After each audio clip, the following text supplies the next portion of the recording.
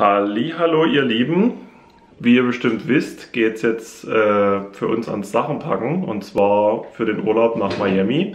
Also quasi Urlaubsvlog Nummer 1. Fängt jetzt gleich an. Ähm, ich kann auch noch mal ganz so zeigen, wir sind noch eigentlich voll im Weihnachtsmodus. Dort hinten seht ihr noch den schönen Weihnachtsbaum. Aber wir müssen jetzt Sachen packen, weil über die Feiertage haben wir keine Zeit. Und deswegen geht's jetzt los.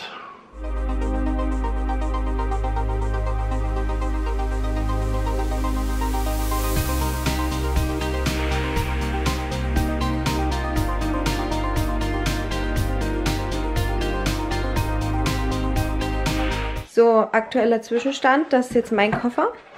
Und die linke Hälfte ist komplett noch frei. Wir haben aus unseren letzten USA-Urlauben gelernt, dass man definitiv mit sehr wenig fliegt. Aber bei uns ist es auch so, dass wir jetzt so lang weg sind, dass sich Waschen lohnt. Deswegen werden wir unterwegs, ja, in einen Waschsalon gehen. Schatzi probiert gerade mal, wie viel sein Koffer wiegt. So auf jeden Fall. Das zeigt auch low an. Low. Okay, dann müssen wir unsere Kofferwagen erstmal die Batterien wechseln, um rauszufinden, wie viel die Koffer wiegen. Hier muss dann natürlich noch ein bisschen, ähm, ja, so Hygienezeug, Kosmetik, Kram und Schuhe, Jacke und so rein. Beziehungsweise hier ist auch noch nicht so voll. Ähm, genau. Und dann gibt es ja auch noch den Handgepäckskoffer. So, weiter geht's. Aber zuerst muss ich euch nochmal diesen wunderschönen Ausblick zeigen. Geht gerade übelst toll die Sonne unter, beziehungsweise ist untergegangen. Ähm, jedenfalls packe ich jetzt so ein bisschen Kosmetikkram und ich habe hier solche kleinen Taschen, dann eine etwas größere. Mal sehen, ob ich alle drei mitnehme, das weiß ich noch nicht. Und das sind, wenn wir es brauchen, unsere Handgepäckstäschchen, wo du halt ja, bis 100 Milliliter die Flüssigkeit reinmachen kannst. Und dann, oh mein Gott, bitte lacht mich nicht aus, habe ich hier so einen coolen Koffer von Amazon, von Amazava. Kann ich euch verlinken, der ist mega geil. Und hier bewahre ich meine ganzen Travel Sizes und Pröbchen auf. Also hier habe ich halt auch Mascara und ja, genau. Hier nehme ich quasi alles immer mit zum Reisen. Und genau, hier stelle ich mir jetzt alles zusammen, was ich brauche. So, endlich im Flieger. Hier ist Schatzi. Wir sind nach Zürich geflogen, es ist alles gut geklappt und jetzt geht es elf Stunden nach Miami.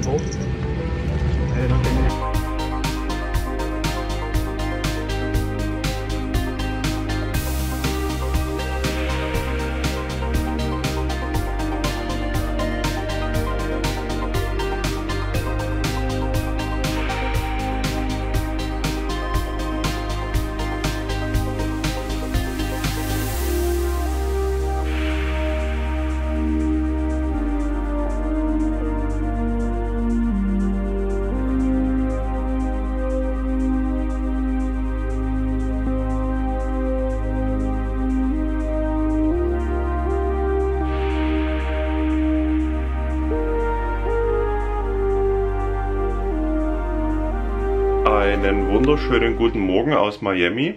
Wir melden uns, wir sind angekommen. Gestern ungefähr 18.15 Uhr sind wir gelandet. Ähm, wir sind jetzt schon in unserer Unterkunft. Gestern ist nichts mehr passiert. Ähm, wir haben hier unsere kleine Unterkunft quasi eingecheckt, waren noch was Kleines einkaufen und wir werden dann Richtung Miami Beach fahren, bisschen was angucken und jetzt geht's los. So, jetzt melde ich mich auch mal zu Wort. Florida zeigt sich jetzt gerade von seiner besten Seite und es hat aus dem Nichts jetzt irgendwie gerade extrem angefangen zu regnen. Also man hat hier öfter mal so Schübe, so Regenschübe. Also zumindest jetzt zu dieser Zeit. Draußen steht unser Auto. Ich zeige euch da nämlich mal den Blick. Wir sind direkt in so einem Kanal mit Wasser. Davor, vorm Haus. Sieht mega, mega schön aus. Und jetzt gibt es erstmal Frühstück bei uns. Ganz amerikanisch Toast, ja, Diet Pepsi und Philadelphia und Käse einfach drauf, weil solange wir hier sind in einem Apartment, beziehungsweise in Miami generell, wollen wir eher so Selbstversorgung machen, oder? Außer wenn man unterwegs ist. Weil wir halt so eine kleine Küche hier haben Und ähm, wir lieben amerikanische Supermärkte und wir werden halt die nächsten Wochen, gerade wenn wir dann nochmal rüber an die Westküste fliegen, ja oft genug essen gehen, weil wir da in Hotels die ganze Zeit sind. Ja. Also fast die ganze Zeit, zumindest in den großen Städten. Und ja, das ist eigentlich unser Ausblick. Wir haben uns eigentlich gedacht, hm, wir können hier dann früh dort frühstücken. Ja. Aber sonst sehr, sehr cool auch gestern direkt eine super geile Supermarkt-Story gehabt mit dieser Tüte. Warum, Schatz? Ähm, wir haben gestern Abend noch was fürs Abendbrot gekauft in einem bisschen größeren Supermarkt und sind mit der Tüte in deutscher Manier losmarschiert. Und ähm, die Kassiererin wollte unsere Sachen in ihre Plastiktüten einpacken, weil hier bekommt man ja jedes einzelne Produkt äh, eingepackt. Und äh, sie fragte mich dann, wollen Sie Ihre Tüte benutzen oder soll ich Ihnen das einpacken? Weil die können damit nie so richtig was anfangen hier. Und da habe ich gesagt, ich möchte gerne die Tüte benutzen, die wir mitgebracht haben. Und das ist natürlich hier ja. sehr wir, komisch für die, weil... Wir kennen das halt einfach, dass jedes Produkt einzeln eingepackt wird im Supermarkt. Und da habe ich gleich gesagt, nee komm, wir nehmen das auf jeden Fall eine Einkaufstüte mit, die wiegt doch nichts. Und die kann man bestimmt auch mal zwischendurch gut gebrauchen. Und ähm, sind da rigoros, ganz typisch deutsch und benutzen unsere eigene Einkaufstüte. Genau, und ich denke, wenn jeder ein kleines bisschen dafür mitarbeitet und mitdenkt, kann man das die Welt ein bisschen ja. besser machen, weil hier liegt genug Müll rum. Wir können euch ja heute bei Wir zeigen euch das, das ist einfach nur krank. Das ist wirklich krank. Also ich finde halt, dass man mit solchen Kleinigkeiten auch schon, denke ich, ein Umdenken anregen kann und ähm, in Amerika muss das einfach mal langsam hier passieren, gerade auch beim Einkauf Einkaufen. Das ist der simpelste Schritt. Ähm, um eben diesen Plastikmüll zu reduzieren. Anyways, wir wollen jetzt hier auch nicht einen auf Moralapostel machen. Wir haben auch noch viel zu arbeiten, keine Frage. Versteht uns dahingehend nicht falsch. Tipp Nummer zwei, den ich mir von Anfang an vorgenommen habe, ähm, ist einfach, dass ich mir jetzt im Starbucks, im nächsten Starbucks, den wir aufsuchen werden, so ein ähm, Einweg, nee, Einweg, Mehrweg, Einweg, Mehrwegbecher kaufen werde und meine Kaffees dann eben immer mit diesem Becher hole. Ähm, genau, ich weiß nicht, ob das jetzt jedes Mal klappen wird, aber zumindest ist so der Plan. Und ich brauche eh einen neuen Mehrwegbecher für zu Hause. Mein alter fliegt dann weg und ja, so machen wir das. Und Schatz schmiert jetzt weiter ganz amerikanisch sein Berge. Toastbrot. Bergeschnitten. Also hier satt zu werden ist schwierig. Mit so einem Brot, ja. Also ihr könnt ja mal gucken, dass das Brot war ein ganzes und das ist jetzt eigentlich leer. Ich habe immer noch Hunger. Dieser Philadelphia, super lecker, aber der hat einfach mal 4 Dollar gekostet. Das ist unglaublich. Der Käse hat auch 4 Dollar gekostet. Also wir haben nicht viel gekauft und sind gleich mal 35 Dollar losgeworden. Also ist schon echt krass teuer. Das Leben hier, muss man sagen. Da haben wir noch keine richtig guten Lebensmittel gekauft. Nee, da hast du keine guten Lebensmittel gekauft. Natürlich nicht. So, jetzt hat es schon wieder aufgehört zu regnen, deswegen werden wir dann gleich losfahren. Ich habe jetzt gerade nochmal unsere SIM-Karte gewechselt. Wir haben uns hier von Most SIM vorher über Amazon, verlinke ich euch, so eine SIM-Karte für die USA gekauft, weil ich gestern ernsthaft für 50 KB, das muss man sich mal überlegen, 15 Euro bezahlt habe. Und das war ja binnen einer Sekunde aufgebraucht. Das ist einfach rotzefrech. Auf jeden Fall gibt es da halt verschiedene SIM-Karten. Wir haben jetzt hier für 21 Tage 50 Gigabyte. Oder nee, Unlimited sogar, ne? Unlimited, also keine Begrenzung. Und wir haben jetzt erstmal, also wir haben nur eine gekauft, wir machen dann halt das über Hotspot. Und ich denke, das sollte dann passen mit Navigieren, weil so kommt man auch günstiger, wenn der Mietwagen, wenn ihr Mietwagen nimmt mit Navi und das ist nicht schon automatisch drin, dann bezahlt ihr pro, pro Tag, ich weiß gar nicht, 8 oder 9 Dollar mindestens für GPS. Und da kommt man damit besser, weil ihr braucht eh Datenvolumen, wenn ihr unterwegs seid und irgendwo euch hin navigieren wollt. Äh, verlinke ich euch, kostet, die hat jetzt 50 Euro gekostet, also klingt jetzt erstmal viel, ist aber runtergerechnet immer noch die günstigste Variante und macht es nicht, euch die SIM-Karte am Flughafen andrehen zu lassen, die kostet ungefähr das Doppelte.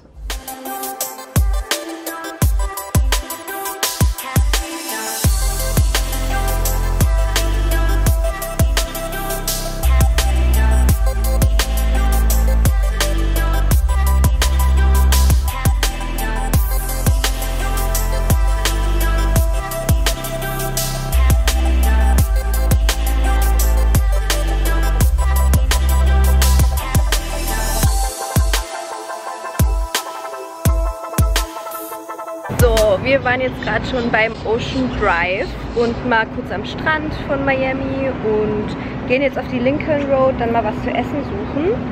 Und ja, mal schauen, was da so gibt, ne? Übrigens, parken müsst ihr mit einer App. Das ist eigentlich ziemlich cool. Da kann man hier so Street Parking machen und dann gebt ihr über die App diese Nummer ein und dann ähm, könnt ihr Stunde und Minute, Stunden, Minuten genau parken. Und ihr könnt dann halt auch via der App verlängern. Ist halt nur sauteuer. Also wenn wir für drei Stunden haben wir jetzt ungefähr 13 Dollar bezahlt. Heute gibt es mexikanisch, Reis, Tacos mit Fleisch, Guacamole, denke ich, auch Pepperoni und Marie ist dasselbe. Ein Veggie Margarita, wie es gesagt. Sehr gut. Guten Appetit. So, wir sind hier im Winwood-Viertel. Hier ist alles so schön bemalt.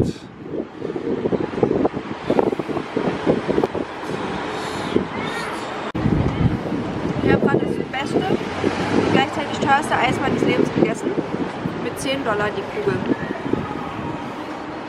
Aber es war so unfassbar lecker. Ja, so sieht das hier auf jeden Fall überall aus. Also die ganzen Wände und Häuser sind halt hier richtig geil bemalt, aber eben künstlerisch. Und dann gibt es auch noch den Winwood Garden. Äh, ist Eintritt frei, was ich sehr, sehr cool finde. Da sind auch nochmal mehrere Mauern oder Wände eben bemalt mit richtig, richtig tollen Kunstwerken. Also es sieht mega schön aus. Es ist nur sehr, sehr viel los. Aber dadurch, dass der Eintritt frei ist und man eigentlich hier auch relativ gut irgendwo an der Seite parken kann, äh, ist es auf jeden Fall zu empfehlen. Also solltet ihr definitiv euch mal angucken, wenn ihr sowas mögt. Aber wie gesagt, parken ist halt hier schweineteuer. Sieht schon alles sehr, sehr geil aus. Hast du dem noch was hinzuzufügen? Viele Leute und äh, experimentelles Essen gibt es hier. Ja, oh, übelst geiles Essen gibt es hier. Da gibt es auch so einen Food Market. Ich hatte richtig, ein richtig geiles Eis gerade, habe ich euch ja gezeigt. War zwar schweineteuer, aber war geil. Wollen wir hier rüber gehen?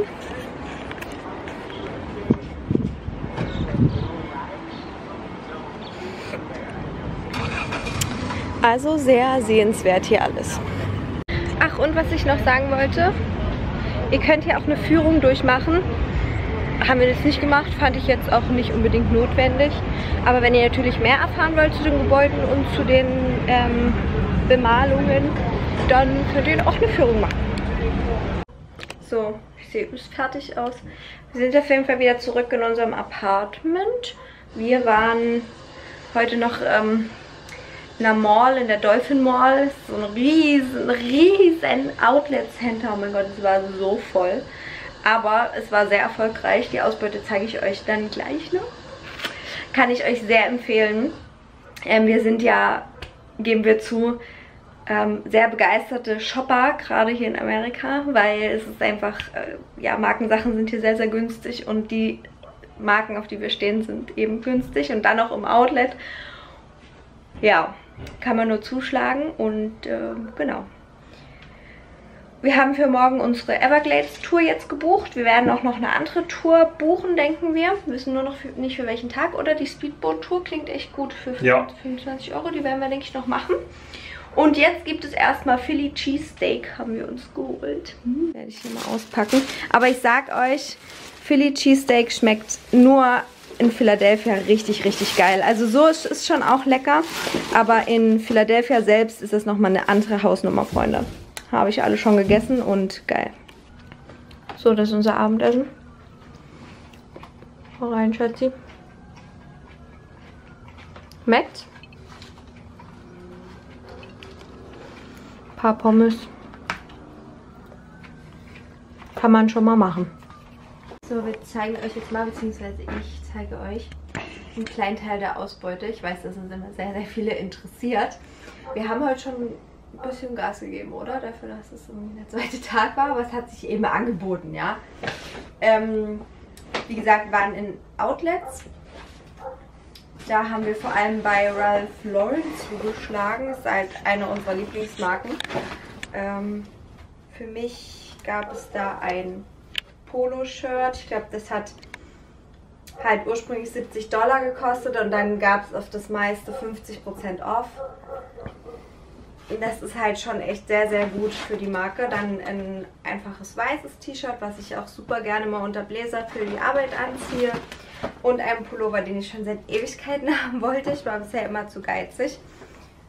Der hat halt dieses Zopfmuster und der ist mega, mega schön und extrem hochwertig. Also der fasst sich so, so gut an und trägt sich halt auch gut.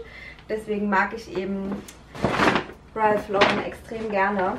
Ähm, von Tommy Hilfiger, da gab es auch so zwischen 50 bis 70 Prozent off. Auf dem Pullover jetzt, der kostete ursprünglich halt 65 Dollar und ich habe nur noch 25 Dollar bezahlt und der ist halt auch mega niedlich und der sieht so, so gut aus angezogen.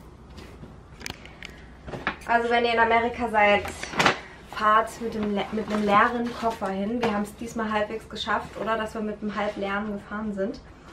Ähm, wir waren im Levi's. Da hat sich mein Freund dieses ähm, Levi's Miami Shirt mitgenommen. Und ich habe das gleiche einmal in weiß. Fand ich irgendwie ganz cool. Und es war auch echt okay vom Preis her. Na, 7 Dollar. Ja. Dann waren wir im Ross. Das ist sowas wie TJ Maxx und Marshalls. Da gibt es immer, nehme ich da Socken mit. Die sind da aber gar nicht so krass günstig. Also die sind da jetzt irgendwie 10 Dollar. Ist okay. Also für, weiß nicht, vier Paar. Nee, mehr. Dann, ich habe neue Sportschuhe gefunden. Die habe ich gesehen, mich sofort drin verliebt. Ich brauche dringend neue Sportschuhe von Puma. Sind echt, ich finde die mega nice. War jetzt auch nicht ultra günstig, aber war okay. Waren jetzt irgendwie 38 Dollar. Dann, ja, Plastiktüten, ihr seht. Oder hat man keine dabei. Hat sich mein Freund hier von Calvin Klein noch ein T-Shirt gekauft. Da habe ich mir für sage und schreibe 26 Dollar Tommy Hilfiger Sneaker gekauft. Die fand ich auch richtig geil. Und dann ist noch ein Shirt hier. Nochmal von Calvin Klein, von meinem Freund. Und zu guter Letzt war ich noch kurz im CVS und da habe ich an der Kasse kurz gedacht, weil ich halt einfach richtig viel bezahlt habe, aber gut. Man unterschätzt es halt auch so ein bisschen, ne? Also wie schnell sich das läppert. Das kommt, da kommt ordentlich was zusammen. Ich habe eigentlich Masken mitgenommen in erster Linie, ähm, weil die Auswahl halt wirklich mega gut ist. Und ich habe ein paar mitgenommen zum Verschenken. Da, ja, die verschenke ich halt übelst gern. Die haben wirklich richtig tolle Masken. Panda-Maske oder hier das. Naja. Und nur zwei Kosmetiksachen. Ja, das können wir das bitte mal wertschätzen. Ich habe mir einmal einen Butter Bronzer mitgenommen, weil ja, alle den super geil finden. Und einmal so ein Loose Face Powder von Airspoon oder so. Das habe ich auch schon ein paar Mal bei YouTubern gesehen. Die finden das super. Einige finden es richtig scheiße. Aber mal schauen. Also es hat jetzt irgendwie 8 Dollar knapp gekostet. Und das hat mich jetzt gereizt, mal auszuprobieren. Riecht auf jeden Fall ziemlich stark nach Oma Parfüm also sehr stark parfümiert. Aber ich werde auf jeden Fall berichten. So, das war unsere Ausbeute von heute. Mein Freund hat noch auf den Klamotten, aber das interessiert euch jetzt bestimmt nicht. So. So, und ich habe jetzt die Ehre, das Ganze zu beenden. Ähm, das war unser Tag heute. Morgen wird es bestimmt ein bisschen mehr Essen geben. Morgen werden wir, denke ich, auch nochmal in den Supermarkt gehen und noch nach zuckerfreien Getränken suchen und nach anderen Köstlichkeiten. Morgen muss es definitiv auch nochmal Eis geben. Und morgen Vormittag machen wir eine Everglades Tour und mal sehen, was der Tag noch so bringt. Und damit einen schönen Abend und bis dann. Ciao.